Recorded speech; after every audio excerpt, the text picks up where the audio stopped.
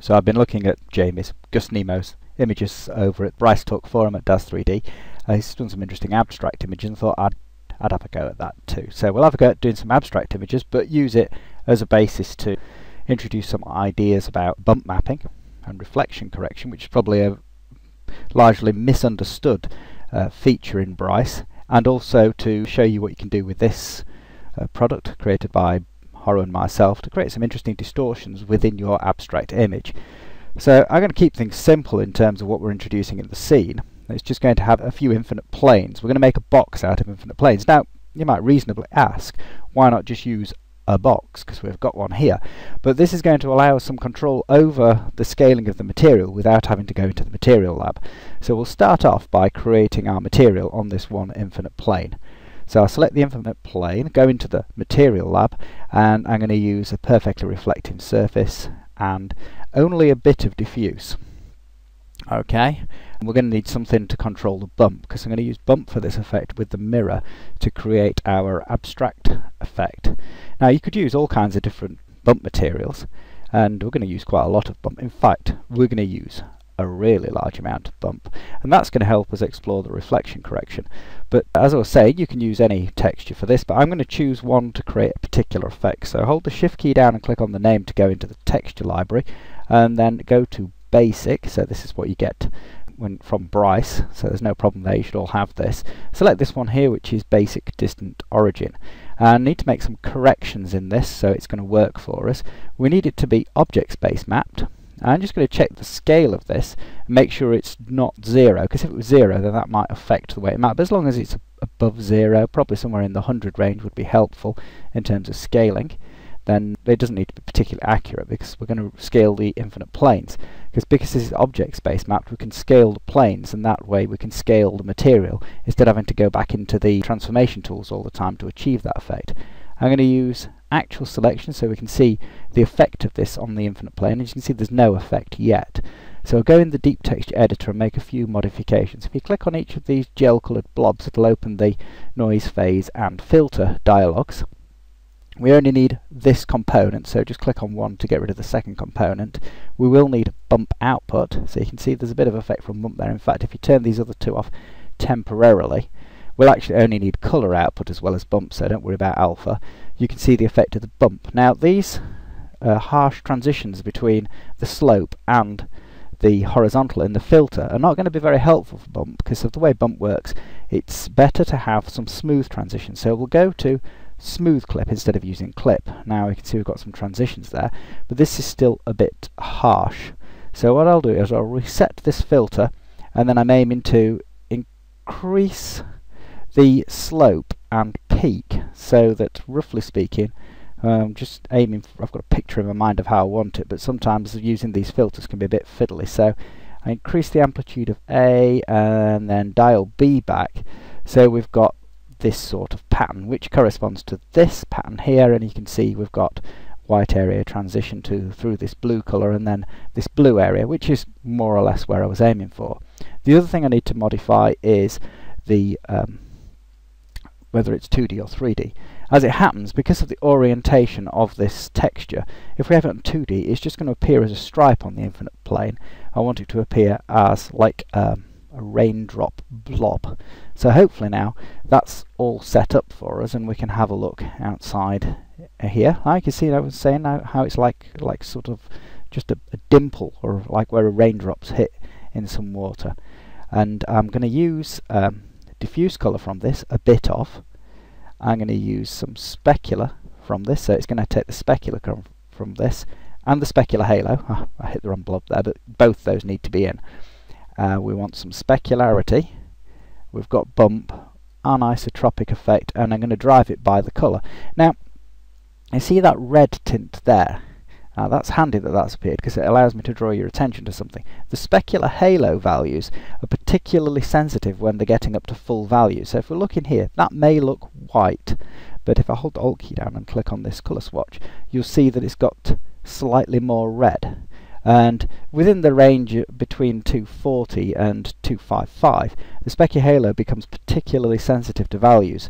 So that can that if we turn that right up you'd have a very extreme effect uh, with the specular halo which starts to create this uh, toon effect which is covered in other videos. So just make sure it doesn't go to full value but you can have it set fairly high. And then when I return back here you can see there's a strong red cast. And that's only appearing through the specular channel and it, it won't be in the diffuse. So you can you can offset these colours quite nicely using that effect. So that's set up my material for now and, and hopefully we won't have to go back in here although I may be overcooking it a bit with the specularity so I'll drop that. So there we go. 10 diffusion 40 specularity, um, large bump value. That has to be typed in. You can't get that with the slider. Slider only goes up to 100, but if you uh, click on the dialog there and type in, you can get it to a maximum value, which is uh, going to help later on just to explain something. Object space mapped, I think we're ready to go. So now, we'll just have a quick look at this. So that's got that effect. That's great. Okay, now I need to make a box out of these infinite planes, and I also need to point out, I'll just do Control C and Control V, and slide the infinite plane up, that the bump will be sided. So this will be the will be the reverse of that because it's on the underside of the infinite plane. So what I need to do is flip the plane over so I can have symmetry between these two bump effects. So that's great. Now select both those and group them. Then Control C, Control V and rotate them in the X direction. So now we've got four sides on our box and then Control C, Control V and rotate them in the Y direction. Hold the Shift key down to do it in discrete steps and that gives us our box. Okay, and now we select all those, group them and modify them so that origin is at the world origin. And now I'll modify the camera's world origin so that true is also at the origin. So the, the, we're exactly in the middle of this box. And this is handy because when we bring in our, um, where is he, where is he, ah, this uh, lens, that will also enter at the world origin, which will be convenient for us. Just, just remember to bolt it on. So, um, we've got this group of groups. Let's see, we need to select the entire group, so that's the entire group, and you'll just ungroup that, and ungroup that, and see if we can see anything at all. It's very faint. I'm going to widen the... actually, I'm going to show you what you can see first of all. So what I'll do... See, that's scaling the box. Um, the, the pattern on the sides of the box, but not the box itself. The, the little bit you can see is as a result of haze. So if I bring more haze in, you'll be able to see things occurring. We're not going to use haze for this effect, but I just want to show you what we've got so far. And uh, in, with this wide field of view, you can see the effect of having this particular wide field of view effect. Uh, but what I'm going to do is I'm going to now bring in my wide angle lens, which will put an extra twist on things. So the extreme wide angle lens, I'll load that in and I'll make sure as it's selected go to the attributes linking and link it to the perspective camera which means it will remain perpetually bolted onto the front so we can see even more of the scene and it's got some interesting distortions on it.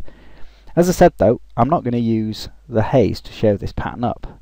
Uh, this is what's occurring in the in the other video um, with the starburst effect. It's the, the haze that's lighting it. So if I hold the Alt key down and click on the haze uh, thumbnail there and the fog thumbnail just to be certain, that gets rid of those effects and at this point go into the Skylab and turn off the shadows. What this has the effect of doing is allowing the sun to enter the box and interact with the diffuse and specular of the material and this uh, should now be lighting our effect up. So at this point I've got the option, right, if I can get hold of my infinite planes, just select infinite plane here, of scaling the effect of these these discs just by changing the scale of my infinite planes so I can grow them or shrink them. It might not be clear quite what's happening there so in this view you can see more of that effect there. So there we go, that's uh, it's quite dramatically changed you see. I want a little bit of that red included so I'll shrink that back down. Now at the moment where the bump pattern is becoming extreme, in other words it's the bump is so steep that our view of the plane is the bumps interpreted as actually passing off through the back uh, in an impossible way, that creates a different effect from if we introduce this reflection correction. What this does is mean it means that when the bumps become so steep that it's become impossible, the uh, the normal that's been generated is so steep that it's actually passing our reflection off on through the surface, which can't possibly happen in real life, but it can because bump's only an illusory effect created on top of the material geometry.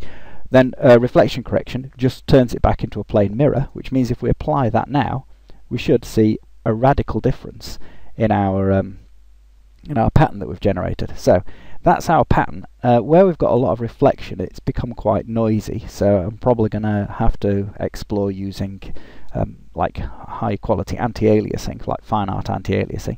But I'm just going to uh, play a bit more with this scaling, see if we bring a bit more red in from that edge to balance things out.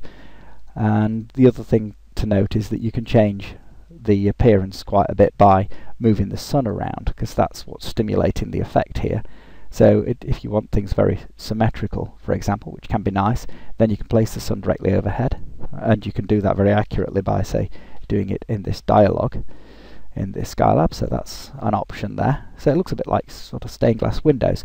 And because I've bolted the lens to the front of the camera, when when I did that uh, earlier, I can now shift my camera around and and change the focus of this. So I could point my camera straight up, and then this this dark area that's the, the, equator. So this is actually sort of looking behind us.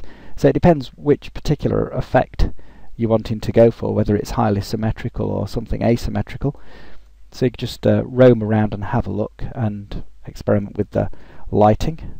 So okay quite quite like that but uh, you know there's, there's, loads of options. It's a bit hard to choose with uh, abstracts so let, let's say that's going to be our choice as I was saying, the, there's the noise issue, and there's also the consideration that we've got lots of reflections occurring. They eventually run out and uh, stop reflecting at the maximum ray depth and return black. So if I increase this value, say I double it, then we'll have more reflections between the mirrors, and then you'll have more complexity and more light. So that's sort of had the effect of lightening it, the uh, the scene somewhat. I'll just move it around. The uh, the preview here uh, under under normal circumstances, fast, fast preview only respects uh, a maximum ray depth of three. Uh, but if you want it to do the lot, then accurate rendering, and then you'll you'll have a better guide as to what you're getting. But it will take a little bit longer to render there. So at the moment it's looking a bit bright, and obviously it's going to take longer the more reflections you have. So you can try raising and lowering the maximum ray depth to get uh, either more or less contrast. So I want it to be fully dark somewhere and to be quite bright in other places going to white. So I seem to have achieved that here. The final thing to do is look at our render options, go for super fine art anti-aliasing, and we can say 64 rays per pixel probably be good enough. There might be a bit of noise, but we'll, we'll give that a go and have a look here. Mm, that doesn't look too bad, so I'll just give that a quick render, and pause the video, let's see how long it's going to take, oh, 10 minutes, and we'll see how that looks at the end of it. There then is the uh, final render. It's uh, I think it's turned out okay. I'm never really that sure about abstracts because it's hard to measure it against anything. I mean, when you're creating something that's supposed to look realistic, then you can easily say whether you've achieved what you set out to do. But with an abstract, you're in an area where it's very hard to be critical. But I think this is quite an, an interesting method. I think it's fairly easy to do, so I hope you'll give it a go in your own renders and that you enjoyed watching this tutorial.